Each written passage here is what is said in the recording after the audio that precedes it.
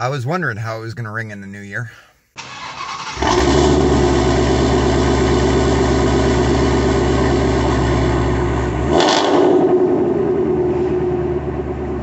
Well, everybody, it's January 1st, 2021, and I'm sure there is a lot of you that are happy to put 2020 in the rearview mirror and tell it to kiss you where the sun don't shine. It's been up and down, and, and it's been just crazy, and, well, I know we haven't posted much, and do apologize for that, but uh, I hope you all had a great Thanksgiving, hope you all had a great Christmas, and I do truly hope that you all have a wonderful new year.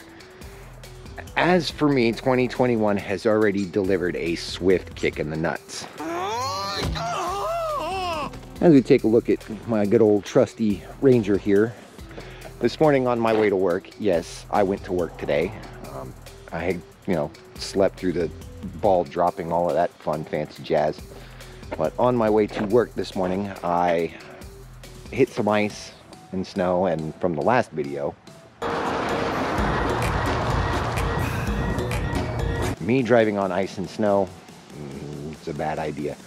So I was doing about 35, 40 mile an hour and lost control of my pickup and used up what little talent I had left. And we have this. Yeah, they crunched in the fender there and bent the rim there from a pole that I hit because I slid sideways and all of that. We come walking around the back. That was already like that. Didn't that just just disregard that. That was already like that. But then we look at this here. Damn!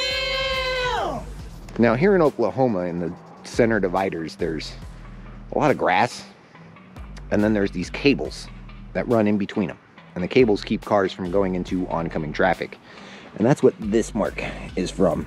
And this, I do believe, hit one of the support things that caught that holds those cables up. Just completely obliterated this tail light. And yeah, I sat there for a minute. I called AAA and obviously they had a high volume of calls because I wasn't the only talentless idiot out there spinning their cars out and causing issues. So sat on the side of the road until AAA could get me a tow truck. But uh, before that happened, God sent me a good old boy with another pickup truck and four-wheel drive, and he had a tow strap, yanked me right out. Didn't catch his name, and I won't mention what kind of a pickup he had because it'll just cause an argument in the comment section. But it's kind of irrelevant because a well-placed horse could have pulled me out, you know? The truck, one of these skinny little tires, little balloon tires, they just got no grip, so he just needed to yank me out real quick, that's all. But uh, good news is, is I'm okay. My pride is hurt a little bit, but I am trying to do a silver lining here, you know? So I'll be able to hammer that out as best as I can before I was an idiot and lost my stuff. And I'll get a new set of tail lights. Some nice, cool LED looking ones, yeah. And uh, we'll hammer out the fender as best as we can and then we'll think about possibly doing a respray on the truck and maybe get some different rims and some better all-season tires. Because, yeah, these little these little balloon tires are just not cutting it. Just not, not cutting it. Uh, another good thing is, is I managed to keep all of my excrement in my body during that entire experience. Mainly because my butthole was so clenched that if I were to let some stuff out, it would come out like a spaghetti noodle.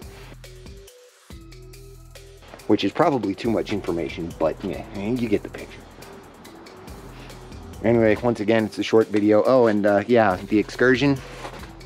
It's so damn cold out here.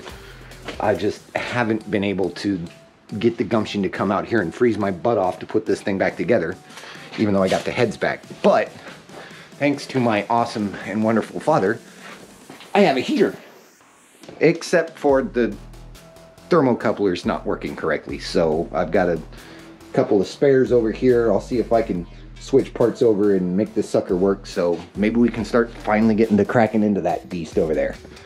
Anyway, thanks for watching. Once again, hope you have a fantastic new year. We'll see you next time.